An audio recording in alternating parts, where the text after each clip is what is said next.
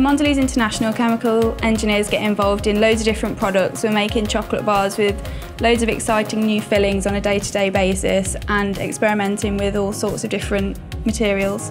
Every stage of production will involve chemical engineering from the initial design concept to the large-scale production of these exciting new products.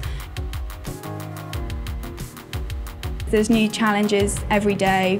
It's like what you would imagine as a child from being a chemical engineer. You can open a pipe and chocolate will cover you and it's just really exciting and on a day-to-day -day basis there's loads of different things to get involved in and loads of new challenges. It's really important to become a member of IChemE because it's a collection of professionals that can all come together within an institution and it's used to make sure that the standard of chemical engineers within industry is kept, remains as high as it is today. So it's really important to be involved in that group of people and it can set up great networks for you to get access to different resources and different people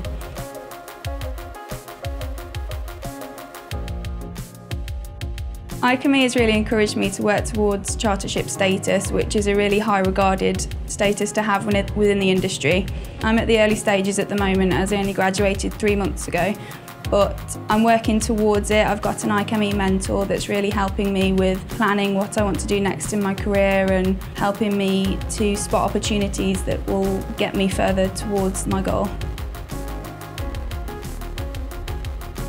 There are loads of different rewards um, that come hand in hand with working for Mondelez International. Obviously we get to work with loads of great products that the consumers love and also we get paid really well which is always a benefit.